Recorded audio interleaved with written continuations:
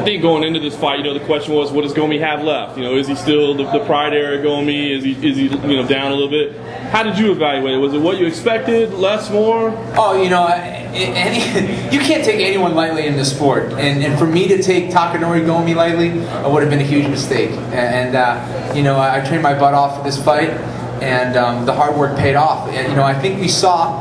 Um, a motivated Takanori Gomi for sure. You know, this guy, he, he threw bombs out there. He, he's got a lot of power, um, a lot of experience, and um, I had to be aware of that. I had to stay sharp throughout this fight. One, one little mistake, and it could have been over. So, um, you know, it, it, just happened to be my night. That, that's it. You know, I know you can prepare, you know, your heart up for a fight, and a lot of things can go wrong out there. So I tried just to control what I can control, and that's my training, and, and I go out there and have fun, and that's what I tried to do tonight.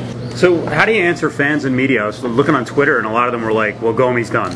I mean, you were in there with him. right, right, right, right. Well, you know, uh, I, I don't really pay attention to that. You know, I, think Takanori Gomi is a very, very tough fighter. You know, um, you know, I, I happen to, I think it just happened to be my night. You know, that's the way fans are in, in this sport. I think, you know, you lose, you stink. If you win, you're the best. So uh, I, I just try to just ignore all that stuff.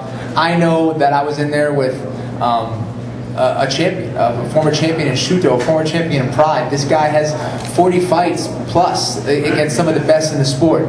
And uh, you don't get there by mistake, and you don't just fall off just like, like that for nothing. And, and uh, I know who I was in there with, and um, you know, I I, uh, I, I just worry about what I needed to go out there and do during the fight. And again, that was a great opponent out there. That's it. Did he catch you with anything big at any point? He had power. There's no doubt about it. He, he had power, and um, you know, during that fight, I had to be in that firefight a little bit, and, and uh, he definitely, I felt his power, no doubt about it. I mean, the guy, he's knocked out some of the best. You know, I think he knocked out every Chute Boxe fighter at 155. You know, uh, the guy's an American top team, and he fought some unbelievable fighters, and uh, he, he beat he beat them all pretty much. So. Um, you know, I was I was excited to, to face a guy like that with that kind of power, and I, you have to respect that. He's a guy who you could be beating the whole fight, and he's got the kind of power who can just end it just like that. One of the things you mentioned Monday was the first fight jitters in the octagon. Did you sense any of that from him? A little bit, maybe a little bit. I, I sensed he was a little nervous, but so was I. You know, I was a little nervous out there. We all are. Um, and uh, the, the key is really just not letting that control you. You have to control it. And uh, again, I, I, gave him a lot of credit, and I told this to him uh, backstage to go to a different country, compete um, in a different country, um, different language, uh, different environment, different uh, arena. All that stuff is very, very tough for a fighter.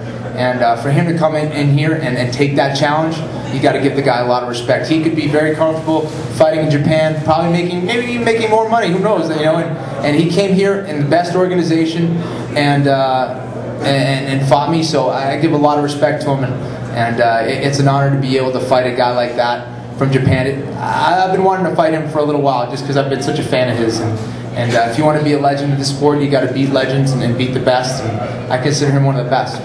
So how does he compare to other top 10 guys? Because you beat other top 10 guys a lot more easily, like Stevenson, like Guida, and people, you know, have those guys highly regarded, and Gomi was there with you for a while. Oh, Takanori Gomi is definitely one of the toughest guys I've ever faced. No doubt about it. The guy's got serious power.